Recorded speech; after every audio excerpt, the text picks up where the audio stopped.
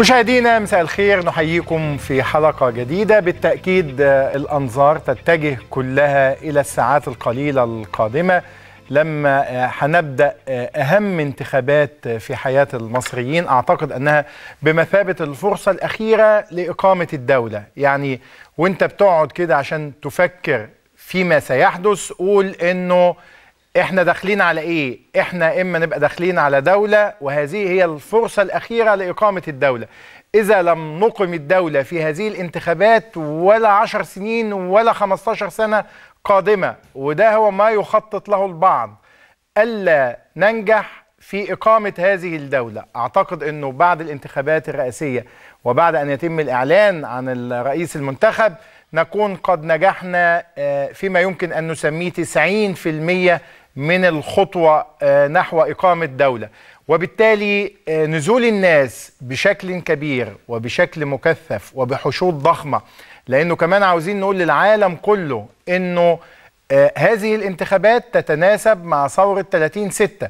يعني مش عايزين نسبة مشاركة تؤدي إلى أنه فلان يفوز أو أنه النتيجة تعدي لا.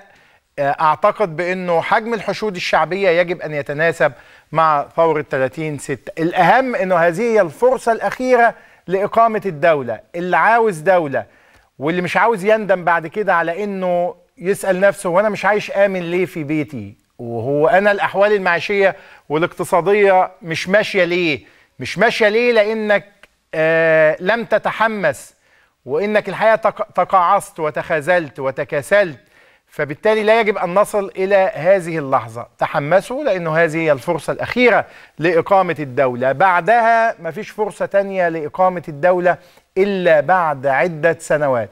وبالتالي الباحث عن الأمان الباحث عن دولة الباحث عن مؤسسات الباحث عن قانون والذين يبحثون عن تحسين الأوضاع المعيشية والاجتماعية. وكمان اللي بيبحث عن الأمن والأمان كيف يمكن أن تكون آمنا في بيتك؟ كيف يمكن أن تكون آمنا في الشارع في أي مكان؟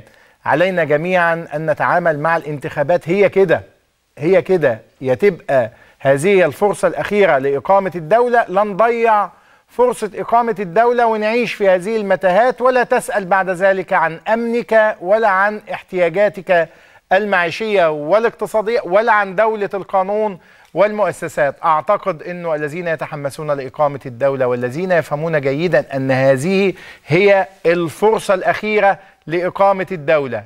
هؤلاء هم الذين يعني سيكونون الغلبة. وأعتقد بأنه الانتخابات يومي الاثنين والثلاثاء ستشهدان على ذلك. في